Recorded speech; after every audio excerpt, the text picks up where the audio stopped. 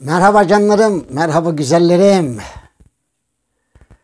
Merhaba güzel gençler, yakışıklı, akıllı gençler. Geleceğin, istikbalin pırıltıları. Evet. Lütfen inanın buna. Lütfen. İnanın, kendinize güvenin ki geleceğimizi çok güzel inşa edelim. Kendine güveni olmayan insanlar, çok kolay pes eden insanlar çok çabuk yenilirler ve kaybederler biliyorsunuz. Onun için pes etmek yok.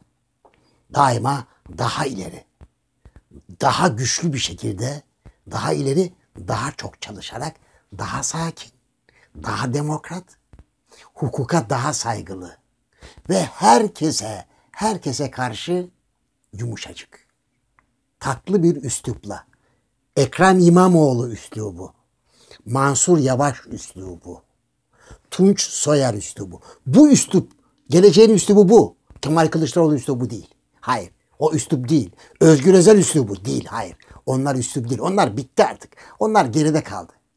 Eğer onlar da Mansur Yavaş, Tunç Soyer, Ekrem İmamoğlu üslubuna gelirlerse bırakın birileri bağırsın bağırsın dursunlar. Vallahi ya. Hiç ya kendi kendine bağıracak duracak abi. Hiç muhatap almamak lazım. Ah ama anlatamıyorum abi. Neyse. Ya Türkiye için kötü bir haber var. Gülerek başladım ama kötü haber de aslında kara mizah gibi bir haber. Neden kara mizah gibi haber? Önce şöyle sorayım. Putin Maduro'ya destek veriyor mu vermiyor mu? Efendim? Veriyor öyle biliyoruz. Bizim gazeteden öyle yazmadım abi. Bizim gazeteler öyle yazmadı mı canlarım benim. Ben öyle yazdı diye okudum. Putin destek verdi Maduro'ya, Türkiye destek verdi, İran destek verdi, Küba destek verdi, Kuzey Kore destek verdi diye. Abi Reuters dünyanın bir numaralı ajansı. Yalanı hiç olmayan ajans bir haber geçti. Ne diyor biliyor musunuz? Rusya'nın devlet şirketi Gazprom var biliyorsunuz. Gazprom. Rusya'nın en büyük zaten bir numara gaz gaz şirketi o. Ha bizim BOTAŞ'ımız gibi benzetmek gerekirse. Ama Gazprom neredeyse dünyaya gaz, doğal gaz satıyor. Bizim BOTAŞ gaz alıyor ve dağıtıyor. Yani gaz veriyor. Gaz satın alıyor, gazı kaçırıyor. Şey, gazı veriyor. BOTAŞ öyle. Şanlarım benim neyse. İşte o Gazprom'un bir de büyük dev gibi bir bankası var Rusya'da. Rusya'nın en büyük bankalarından. İsmi de Gazprom Bank. Ne karar aldı biliyor musunuz? Ne karar aldı? Bilmiyor musunuz? Bilenler biliyorlar. Bilmeyenlere hatırlatayım. Venezuela'nın bütün hesaplarını dondurdu. Vallahi. Ya seviniyorum değil ya. Haklı çıkmaktan bıktım.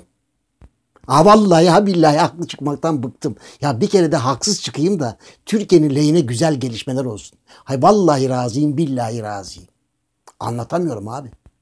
Yahu Putin demokrat değil asla. Evet ama Rusya'da daha dünün komünist abi. Pek de kolay korulmuyor demek ki. Adam bir şeyleri oturtmaya çalışıyor. Olabilir. Ama abi Putin çok akıllı bir adam. İstihbarattan gelme genç yaşında genç yaşında Rusya'nın KGB gibi dünya çapındaki en büyük iki istihbarat teşkilatından birini yönetmiş abi adam. Çok ya üniversite mezunlukları ayrı bir defa adamın eğitimi süper. İngilizce başta olmak üzere kaç tane yabancı dil biliyor. Bütün dünyayı bizzat kendi takip ediyor. Öyle danışmanlarına bakıp da onlar ne derse inanmıyor. Kendi her şeyin, her şeyin ne olduğunu, ne bittiğini biliyor. Siz Gazprom Bank'ın Putin'le sormadan Maduro'nun Venezuela'nın hesaplarını dondurabileceğini düşünebiliyor musunuz? İmkansız ya. Sıfır ihtimal ya. Ya Berat Albayrak ya da ne bileyim işte Süleyman Soylu ya da bizim Merkez Bankası Başkanı Sayın Cumhurbaşkanı'na sormadan bir karar alabilir mi? Alabilir diyorsanız o zaman Gazprom Bank almıştır abi. Ben de geçerim giderim. Bırakırım sizi kaderinizle baş başa. Canlarım benim. Peki neden böyle bir karar aldı? Reuters açıklıyor. Sormuş çünkü banka yetkililerine konuşmuş. Adamlar demişler ki Amerikan'ın Venezuela'ya uygulayacağı yatırımlardan zarar görmek istemedik. Bitti abi. Bitti abi. Biz Amerikan yaptırımlarından korkmayız abi. Ya biz öyle bir ülkeyiz. Bizim ülkemiz öyle bir ülke ki bizim milletimiz öyle bir millet ki. Hatırlayın be. 30 sene önce AIDS'ten dünya kırılıyordu, korkuyordu. Erkekler neredeyse yabancı kadınlarla yatmaz olmuştu. Biz kuzeyden gelen kadınlarla AIDS'te olduklarını bile bile yatan erkeklerimiz gördük be. Ne dediler? Bize bir şey olmaz abi. Genelde Karadenizliydiler. Vallahi Karadenizliydiler. Hatta belki de yüzde 95'i Karadenizliydi. Ya bir şey söylemek istemiyorum. Karadenizliler yani. Onu söylemek istiyorum. Yani, yani ne, ne çıkarmak istiyorsun? Ya benim başımı belaya sokmak isteme kardeşim sen ya oradan bak bak bak bak bak. Bak beni tahrik ediyor. Tahrik etme. Karadenizliler dedim. Ne var Karadenizliler demek ki? Ne? Yani Karadenizli olmak kötü bir şey mi? Allah Allah. Dünya Türkiye'nin en büyük liderleri, en güçlü liderleri Karadeniz'den çıkıyor. O ayrı. Ben AIDS'ten bize bir şey olmaz diyenlerin Karadenizliler olduğunu söyledim genelde. Neyse hasılı, hasılı Rusya'yı yöneten Putin akıllı adam abi. Akıllı. Amerika ile resleşmek istemiyor. Bakın Çin'i yöneten adam da akıllı. Restleşmiyorlar. Abi günümüzde restleşmeyle bir şey elde edemezsiniz abi. Yok böyle bir şey ya. Kabadayım. Asarım ulan. Keserim ulan. bir bok yiyemezsin. Yiyemezsin abi. Neyse. Bunu geçelim. Arkadaşlar Sayın Cumhurbaşkanı öyle danışmanlarla çalışıyor ki hepsi evlere şenlik. Yanlış bilgi veriyorlar abi. Sürekli yalan yanlış bilgiler veriyorlar. Aha, yine dün Sayın Cumhurbaşkanı Afyon Karahisar'da yaptığı bir konuşmada Afyon Karahisar Üniversitesi'nin Kocatepe Üniversitesi'ni biz kurduk dedi. Vallahi aynen öyle dedi. Afyon Kocatepe Üniversitesi'ni biz kurduk dedi. Üniversite 1974'te kuruldu. Tayyip Bey daha liseyi yeni bitirmişti. Tayyip Bey'i suçlamıyorum. Asla inanın samimiyetle söylüyorum. Abi yanındakiler yanındakiler var ya kusura bakmasınlar ama dangul dungul herifler. Ya yanlış bilgi veriyorlar ya. Ya bir cumhurbaşkanı bu bilgilerin doğruluğunu falan kontrol etmez. Ha hatası var sayın cumhurbaşkanı. Ne hatası mı var?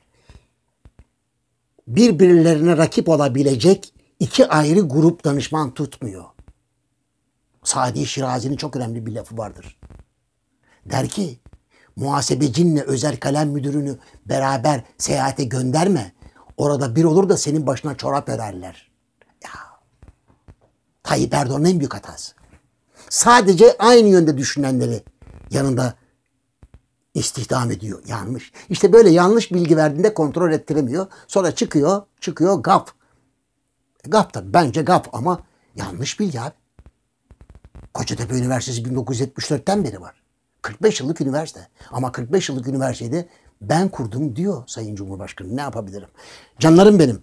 Amerika Birleşik Devletleri'nin Suriye temsilcisi James Franklin Jeffrey'i tanımayanınız yok herhalde. Bir açıklama yaptı yine. Dışişleri Bakanı delirdi.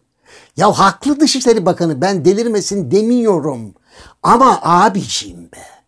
Benim rahmetli babacımı çok sevdiğim bir lafı vardı.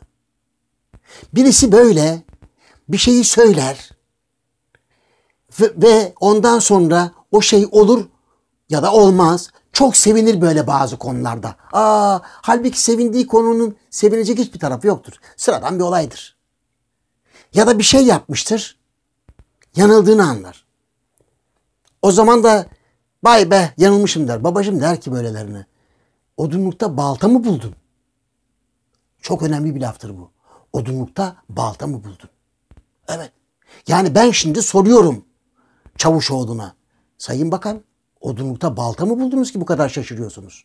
Aa vay anasını demek odunlukta balta vardı ha? Ha kim koymuş acaba odunluğa baltayı? Ne iş var baltanın odunlukta halbuki?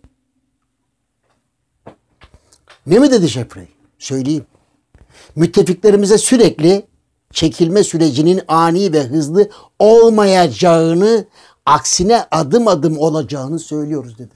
Ya adam demek söylüyormuş bizim Dışişleri Bakanlarına. Bizim dışişleride çalışanlarına, görevlilerine söylüyormuş. Yahu birden çekilmeyeceğiz. Heyecanlanmayın. E Trump da bugün söyledi. IŞİD'i yüzde yüz devirdiğimizde, yüzde yüz bittiğine inandığımızda çekilişimizi tamamlayacağız dedi. Trump söyledi abi bugün. Bütün dünya dinledi. Dün pardon. E işte Rusya, Suriye'deki temsilci de aynı şeyleri söylüyor. Ama bizim sayın sayınlarımız odunlukta balta bulmuşlar gibi şaşırıyorlar ya. Aa odunlukta balta var. Hay anasını kim koydu lan bu baltayı buraya? Ben koymuşumdur.